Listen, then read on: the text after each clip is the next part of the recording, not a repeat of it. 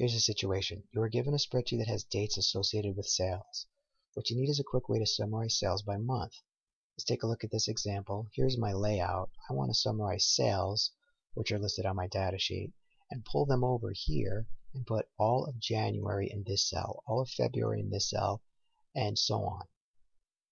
But let's look at the data that was given to me. There's a problem here. I was given dates, and I wasn't given the three-letter abbreviation for month.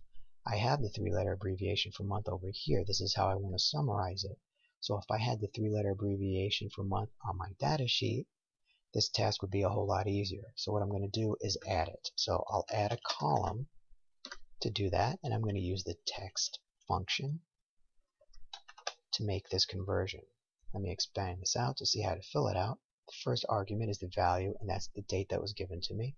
Then the format text is a format that this function recognizes, and it's simply three M's. There we go, January.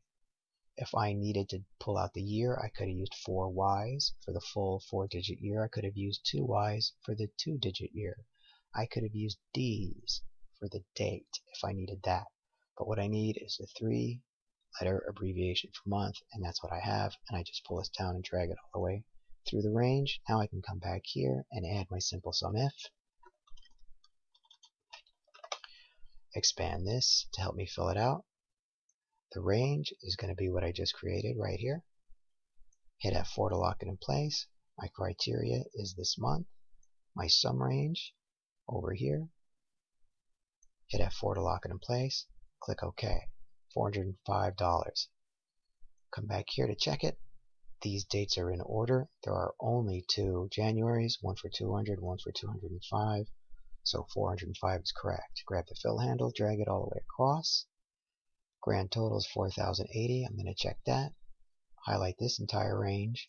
Come down here and see that 4080 is the correct total. So this is working. Let me show you how I did that. And that is a way to solve this need.